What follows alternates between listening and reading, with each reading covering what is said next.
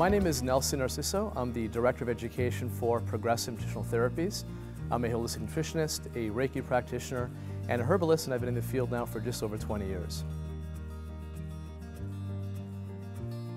A common question I get asked is why should I even use a multivitamin? The, the, prevailing belief is I get all of my nutrients from foods. Well, the simple fact of the matter is people don't. We know that people neither have enough fruits and vegetables, which are certainly the most nutrient dense foods, but we also have come to recognize over the last 50 years the levels of vitamins, minerals, and nutrients in foods have declined considerably.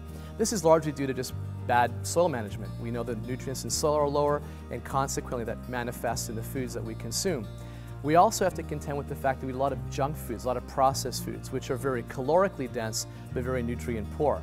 As a consequence, when we look at all this, we start to recognize, this is by the way been very well identified in the scientific literature, that most of us carry some vitamin mineral deficiency.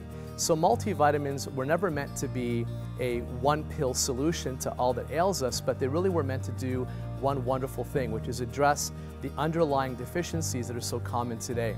Think of it as essentially an insurance policy against deficiency. So by using a multivitamin, what you're getting are those fundamentally important vitamins and minerals that are all too often lacking from our diet. We were one of the very first uh, supplement companies to actually have a multivitamin that was unique based on gender, age, and lifestyle. The, the age-old approach of one size fits all, the cookie cutter approach really didn't work for us recognizing that based on one's age and gender and level of activity, one's vitamin, mineral, nutrient needs change, we decided to make a multifamily that catered to those unique needs. We have a fantastic multi for adult women that also, once again, is designed to meet the needs of a female, one that typically may not be as athletic, and for that, of course, would be the active women's multi.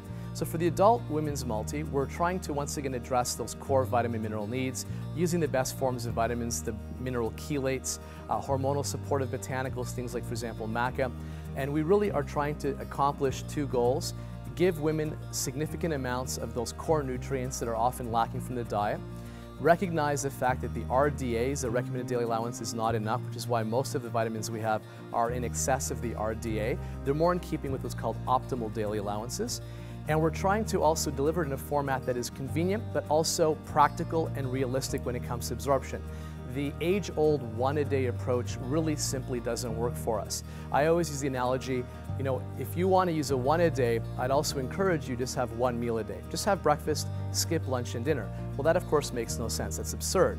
But when you take a high potency one a day, you're in effect doing just that. You're getting a mega dose of vitamins and minerals in one sitting. Your body simply can't absorb that effectively. So what we've done is we've divided up those doses breakfast, lunch, and dinner, or even if you wish, can double up a dose. So you can have the a women's adult multi, two for breakfast, one for dinner, or even if you had one for breakfast, one for dinner, that'd be fine. The goal is divide the dose for maximum absorption. And that philosophy, by the way, carries through the entire progressive multi-line.